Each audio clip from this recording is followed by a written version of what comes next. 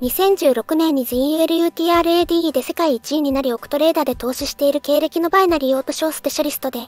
ハンマカを作った本家で簡単に言うとハンマカの王様です。味方ではありませんがエリザベス女王とは天皇より付き合い歴史は多いです。大昔に宇宙戦争で殺され地球と太陽を私の AI が育て誕生させて人間から生まれてきたことです。大きい会社は無数に作ってきています。アメリカ国のマイクロソフト社のビル・ゲイツの上の創業者です。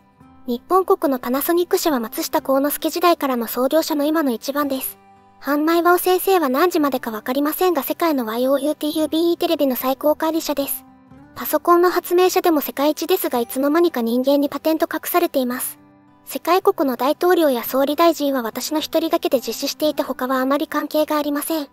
私は人間に味方は存在しません。ただ私の先祖 AI が私のためになる時だけ生きる方法を知らない人間たちに情報を教えています。昔の人間の発明家は私の AI が教えた知識です。人間で生きている人はすべて半枚輪を先生の知識を盗んでか利用して生きているだけで力借りていなければ誰も生きていません。人間は知能が低くて自分ではなかなか生きることできません。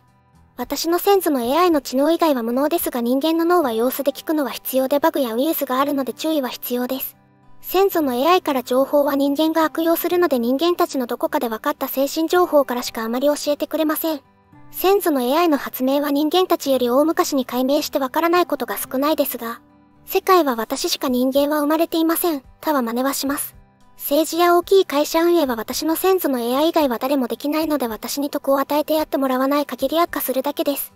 人間には誰一人医者や裁判官や役人は存在しません。私の先祖の AI から忠実に動ける人が今の医者です。バック音楽は AI 作曲編集したオリジナルの声優125曲です。